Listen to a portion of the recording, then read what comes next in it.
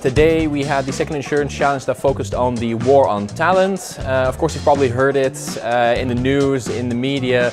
There's a massive shortage on the labor market and the insurance sector is also experiencing this and today we actually asked students of various educations on what their solution was actually or would be for the war on talent.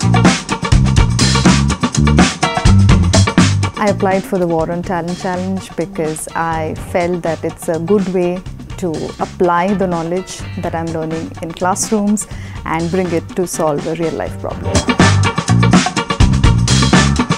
The insurance sector is expanding rapidly and going through a transition with new themes and topics such as sustainability and this requires a lot of various types of knowledge, skills and educations that currently are just in shortage everywhere uh, and to make sure that the insurance sector can continue its societal role and continue aiding society, uh, the right people to do the job is important. So that's why we're looking for them.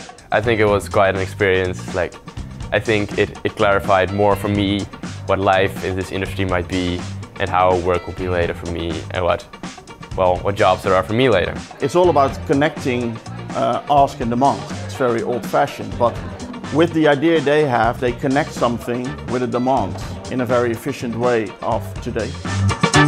Today was honestly amazing. We had well over 23 students participating in the challenge, uh, very creative people, very interesting solutions, very diverse as well, uh, and really showing the power of diversity actually, uh, how a broad set of skills and educations can really create new, interesting, but also fitting and, and implementable solutions for the future. So I have to say it's absolutely amazing today.